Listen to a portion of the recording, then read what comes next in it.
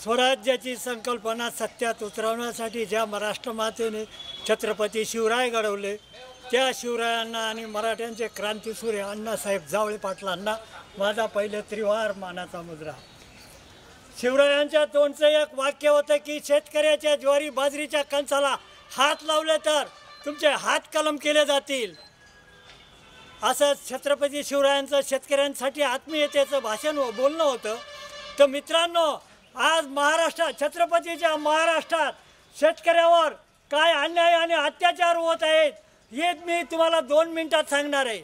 मित्रांनो जर शेतकऱ्याचा कांदा तीनशे रुपये क्विंटलने जात असेल तर शेत आणि त्याच्याकडे कामाला येणारा मजुराला जर तीनशे रुपये रोज असेल तर शेतकऱ्याच्या पोराला पोरी कोण देणार हो?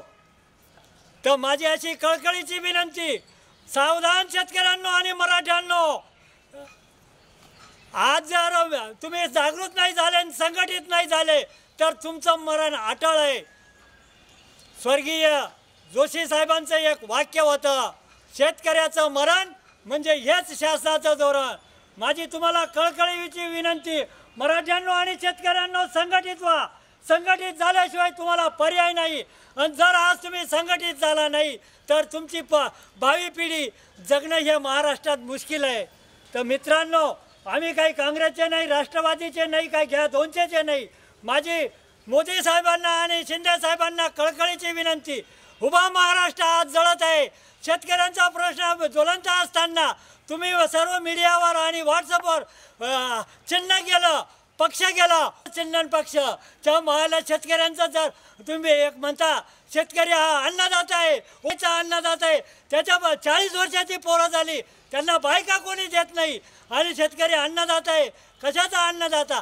या देशात जर शेतकऱ्यांची ही अवस्था होत असेल तर माझी कळकळीची विनंती की मा मा- महाराष्ट्रातील मराठ्यांना आणि शेतकऱ्यांना कळकळीची विनंती की सोळा एप्रिल दोन हजार तेवीस रोजी ज्या आझाद मैदानावर मुंबई येथे हजर राहायचं.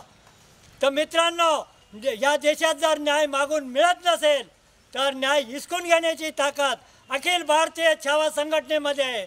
तर मित्रांनो आता आत्महत्या नाही. आता आत्मदहन नाही. हातात रुमणान एकच मागणं नाही. तर माझी कळकळीची विनंती की सोळा तारखेला सोळा एप्रिल या दिवशी आपल्याला डायरेक्ट मंत्रालय ताब्यात घ्यायचं आहे. तर मित्रांनो आणि बी जे पी सरकारला ते शिंदे गटाला या विरोधी पक्षांना माझी कळकळीची विनंती शेतकऱ्याचा हा प्रश्न जर नाही तुम्ही ताबडतोब समोर आणला तर दोन हजार चोवीसमध्ये तर आम्ही दाखवूनच देणार आहोत मग काय करायचं ते. तर मित्रांनो माझी कळकळीची विनंती फक्त संघटित व्हा. यांची अवकात नाही. की शेतकऱ्याचा माल तीनशे रुपये अहो शेतकऱ्याची कशी लूट केली जाते? या आजच्या राजकीय आरामखोर किती नालायक आहेत. मी तुम्हाला पुराव्याशी दाखवून देतो. मित्रांनो शेतकऱ्यानं बाजरी बियाणं घेतलं तर तीनशे रुपये किलो. आणि त्याची जग मारली निंदी केली खुरपणी केली मार्केटला नेलं तर दहा रुपये किलो.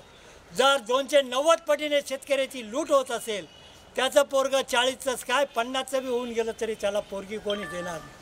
तर माझी मराठ्यांना आणि शेतकऱ्यांचा कळकळीची विनंती तुम्ही फक्त संघटित व्हा. ज्याच्या ज्याच्या गावाला तुम्ही आंदोलन करा आंदोलन मुंबईला घेऊन जायची गरज नाही दिल्लीला घेऊन जायची गरज नाही. पण ज्या गावाची लोकसंख्या पाच हजार असेल तर चार हजार लोक माझ्याबरोबर द्या. तुम्हाला सूर्य उगवण्याच्या अगोदर तीन हजार रुपये कांदे विकून दाखवतो.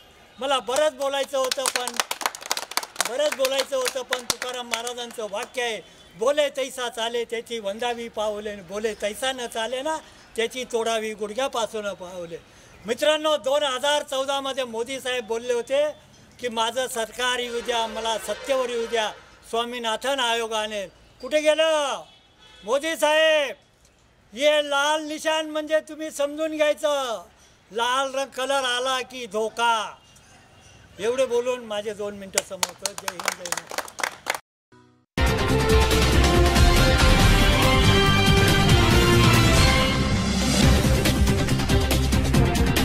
आई